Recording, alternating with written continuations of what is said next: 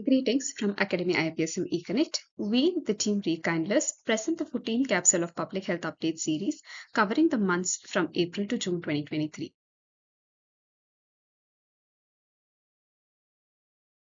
This capsule covers three themes. The first part will focus on non-communicable disease and communicable disease. The second part will focus on nutrition. The third and final part will focus on vaccines. I'm Dr. Chandana, Assistant Professor, Department of Community Medicine, ESIC Medical College, Bengaluru. Today, I'm here to present three important public health updates from the period between April and June 2023. First update about NCD is Implementation Roadmap for Accelerating the Prevention and Control of Non-Communicable Diseases in Southeast Asia region. The roadmap provides us with strategic directions and tools with a view to prioritizing and accelerating high-impact interventions that are feasible within the national context. It provides guidance for prevention and control of NCDs, including links and tools for easy access. It will be available on the Southeast Asia Region NCD web portal. The web portal will also feature good practices from countries and will be regularly updated with additional guidance as it is produced. There are three strategic directions under the roadmap. First strategic direction is to sustain. We need to sustain the progress made in the national response to the NCDs. The second direction tells us to prioritize and accelerate we need to prioritize and accelerate the implementation of the most impactful and feasible interventions in the national context, including through digital health and other innovations. The last strategic direction is account. We need to promote accountability through timely, reliable, and sustained national data on NCD risk factors, diseases, and mortality, which will help us to reach the NCD targets by 2030. Countries can consider establishing a national think tank or a country coordinating mechanism to ensure commitment and functional synergies across sectors. Second update that happened during the period is renaming of the National Program for Prevention and Control of Cancer, Diabetes, Cardiovascular Diseases and Stroke to National Program for Prevention and Control of Non-Communicable Diseases. This was done to provide coverage and expansion to all the other non-communicable diseases. The third update is about World Malaria Day 2023, observed on 15 April, marked under the theme Time to Deliver Zero Malaria, Invest, Innovate and Implement. Within this theme, WHO is urging more effective implementation of available tools and strategies to prevent, diagnose, and treat malaria, particularly among marginalized populations. The WHO African region continues to shoulder the heaviest burden of the disease, accounting for an estimated 95% of all the cases and 96% of all the deaths in 2021. Nearly 80% of the malaria deaths in the African region were among the children under the age group of 5. Countries have made some progress in expanding access to malaria services for most at-risk populations. Despite some progress, many people at high risk of malaria still lack access to services that can prevent, detect, and treat the disease.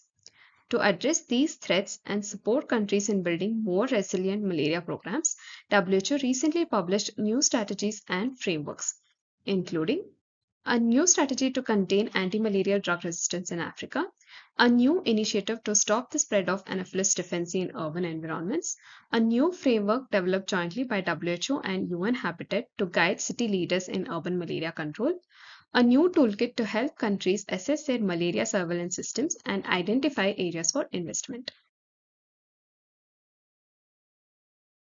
Under the prospects of new intervention, the malaria vaccine RTS-S, which was launched in 2019, is going to help us in increasing equity in access to malaria prevention for the most vulnerable and is also going to help us in saving lives.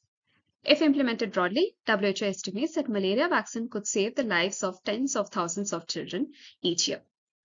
Continued investment in the development and deployment of new vaccines and next generation tools will be the key to achieve the 2030 malaria global targets. In that context, a second malaria vaccine, R21, which is on clinical trial, if approved, could help close the sizable gap between supply and demand and further reduce child illness and death from malaria. And also one more thing that will be happening in India is malaria is going to become a notifiable disease across the country. Cases should be reported to the government authorities aim is to make India malaria free by 2027 and eliminate the disease by 2030. Now over to Dr. Dipanshi for further updates.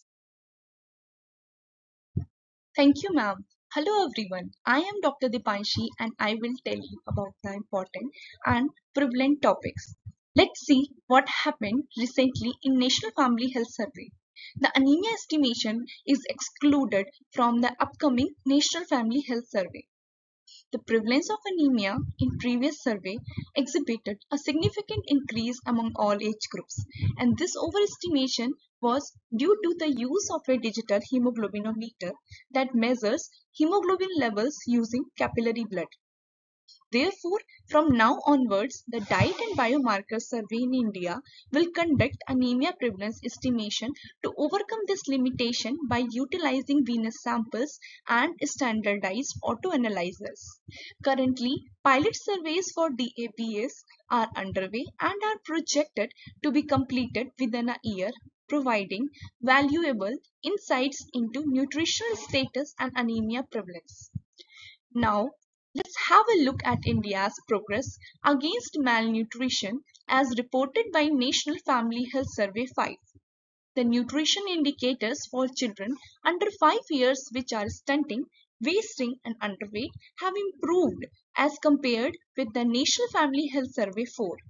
However, obesity is still a concern. This shows there is insufficient progress to reach the 2025 World Health Assembly Global Nutrition and 2030 SDG targets. Moving further on the next update, the Union Cabinet approved a scheme to distribute fortified rice under government programs.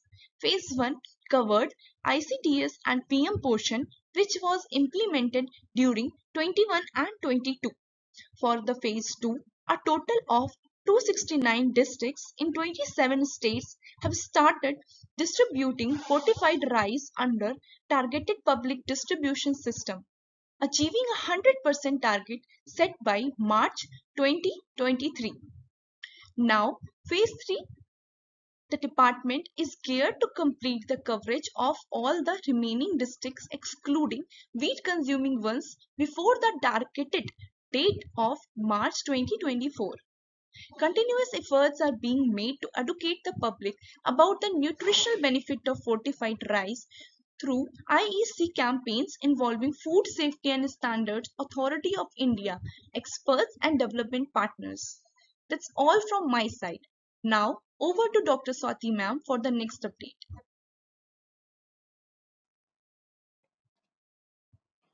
Greetings to one and all watching this update capsule. I am Dr. Swati Shikha, Assistant Professor in the Department of Community Medicine at Manipal Tata Medical College, Jamshedpur. I'll be covering uh, six important public health updates for the period from April to June 2023. The topics are World Immunization Week 2023, Global Vaccine Research Collaborative, Vaccine Microarray Patch, Arexvy, Saksham, and Health of Youth, Wealth of Nation. World Immunization Week is celebrated in the last week of April, 24 to 30th April, with the aim to highlight the collective action needed to protect people from vaccine preventable diseases. Under the banner of the Big Catch Up, WHO is working with partners to support countries to restore their level of immunization coverage to the pre-pandemic times and ensure more people are protected from vaccine preventable diseases. The focus is to catch up the millions of children who missed out on vaccines during the pandemic and strengthen primary health care to deliver immunization services. The ultimate goal of World Immunization Week is for children adults, and their communities to be protected from vaccine preventable diseases, allowing them to live a ha happier and healthier lives. The next topic is Global Vaccine Research Collaborative towards Vaccine Equity. The Department of Pharmaceuticals, Government of India, along with Program for Appropriate Technology in Health, PATH, and Coalition for Academ uh, Epidemic Preparedness Innovations, CEPI, have come together with an agreement, the Global Vaccine Research Collaborative. This initiative will focus on addressing major gaps in research for vaccine development uh, before the next pandemic, establishing a structure and principles for better vaccine research and development preparedness, and creating a mechanism for improving coordination and fostering an enabling environment for vaccine research and development.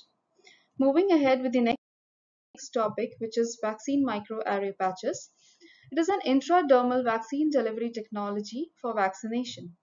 It is an alternative to intramuscular and subcutaneous immunization methods, making it easier to administer the vaccine. The advantages of vaccine microarray patches are they do not require the use of needle, can improve safety during administration, reduces the need for cold chain, enables easier storage and transportation, and removes the risk of needle wastage. Moving ahead with the next uh, topic that is Arexvy.